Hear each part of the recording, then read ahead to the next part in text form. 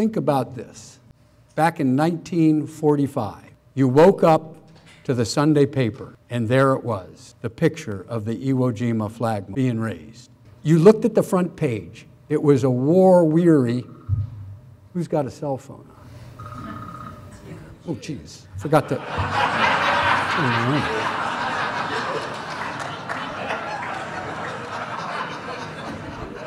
I got to take this one. Hold on just a second.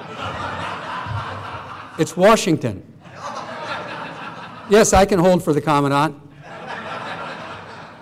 Yes, General Neller. You checked out our new website today and you saw the presentation was. No, it didn't go yet. It's just starting now. Well, you're on the East Coast. There's a three hour difference. Yeah. Well, oh, we got a great turnout. Yes. Yes, sir. The Commandant says, thank all of you for coming. Yes. Yes, I, I, I was here. Yeah. We do have copies of, extra copies of your picture.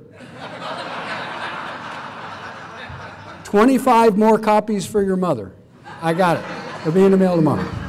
It's about 9.30 or 10 o'clock, and my phone rings again. It's General Neller. And I said, well, sir, I called you back a little while ago. He said, yeah, I was busy. I was watching Game of Thrones. so there, there, that got my start. He said, here's the deal. We think we've got an issue with the flag raising on Iwo Jima and we think we've misidentified some people. So we're going to convene another board. There was one in 1947. And we think this one might be a little controversial, and you're bulletproof, so why don't you go ahead and take it? So I really didn't have much of a choice. So we put together a panel of 10 of us, and we convened what's now known as the Huly Board. I didn't name it, that's the way they get named. And we looked at this. Now think about this 73 years ago, you woke up Sunday morning. You knew there was a battle going on, it was raging. The nation was war weary. This is 1945, and it had been a long stretch for them. Casualties were mounting. Things were going on, and all of a sudden, that iconic photo comes across your front page of every major newspaper in the United States. It spawned a war loan drive.